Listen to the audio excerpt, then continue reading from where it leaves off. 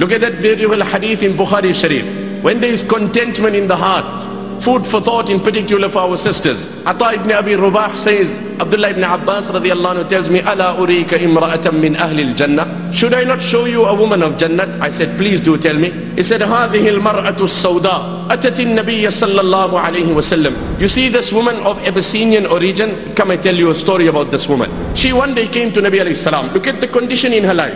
Ya Rasulullah, inni usrahu wa atakashaf. O Nabi of Allah, I suffer from epilepsy. Now what a fatal illness she is suffering. What is sickness? O Nabi of Allah, I suffer from epilepsy. And when I have these attacks, my satir is exposed. Could you perhaps make dua to Allah that Allah cures me?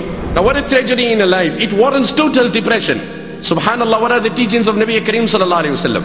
The Nabi of Allah, one was to lift his hands and instantly make dua and Allah will respond positively and cure the woman. But the Nabi of Allah gave her a choice.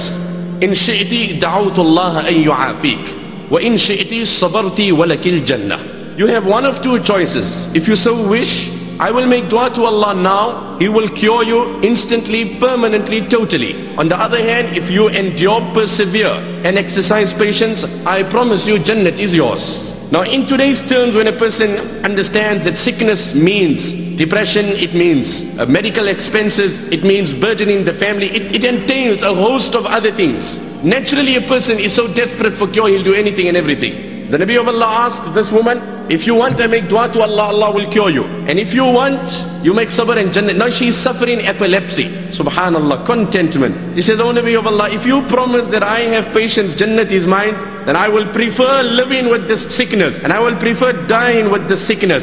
As long as you can confirm Jannat is mine. However, I am very conscious of my modesty. And when I have my epilepsy attacks, my sitter is unveiled and it is exposed. I want you to make that amount of dua that in the future attacks that I have, I, my sitter mustn't be unveiled.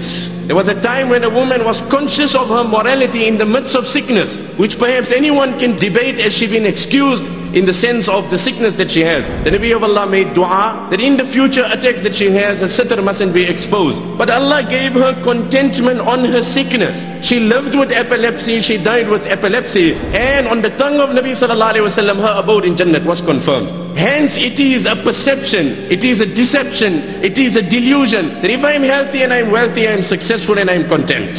هي القناعة فالزمها تعش ملكا لو لم يكن منها إلا راحة البدن It is contentment. Grab onto it. I swear by Allah, if you have it, you're a king without a throne also.